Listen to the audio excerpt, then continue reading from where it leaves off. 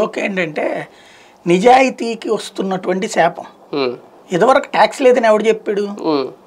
చిల్లర కొట్టు ట్యాక్స్ కట్టలేదా? ఈ వస్తువుల మీద. బట్టల కొట్లు ట్యాక్స్ కట్టలేదా. వాళ్ళు అమ్మేటువంటి దాని మీదన? ఇదివరకు మీరు ఎంత ట్యాక్స్ కడుతున్నారో మీకు తెలియదు ఓ షాప్కి వెళ్ళారు ఓ చీర కొన్నారు అనుకోండి మీకు అందులో ట్యాక్స్ కట్టకుండా వాడు ఉట్టి చీరలు అమ్ముతాడా. అప్పుడు మరి ఈ దేశం డబ్బులు నుంచి వచ్చినాయి?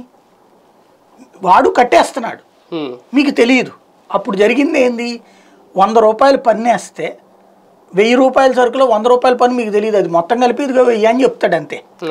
దాంట్లో వంద రూపాయల పన్ను. అందులో ఓ యాభై రూపాయలు గవర్నమెంట్కి పన్ను కట్టేవాడు. యాభై రూపాయలు అధికారులు వీళ్ళు కలిసి తినేవాడు ఆ వ్యాపారి పన్ను కట్టకుండా ఎగ్గొట్టేవాడు.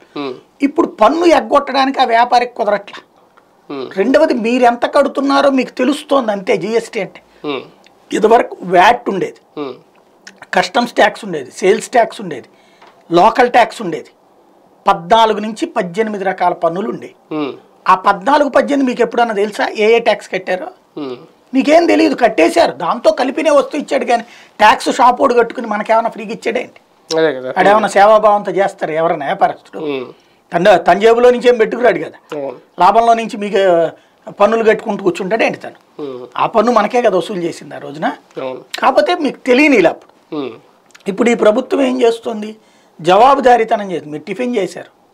బిల్లు దాని మీద రాసిస్తున్నారు. ఇదివరకు మీకు రాయలేదు కాబట్టి మీకు తెలియలే.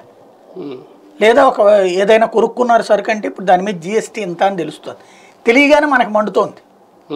కాంగ్రెస్కి నువ్వు బీజేపీకి ఉన్న తేడా ఏంటంటే ఇదిగో నువ్వు ఎంత పన్ను కట్టావు అబ్బాయి అని చెప్తున్నారు.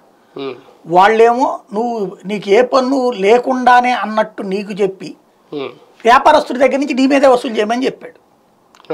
కాకపోతే అది బయటకు ప్రొజెక్ట్ చేయక్కర్లేదు. అది మనసులో ఉంచుకో అనేది. అందుకు గాను వ్యాపారికి కొంత లంచం ఇచ్చారు.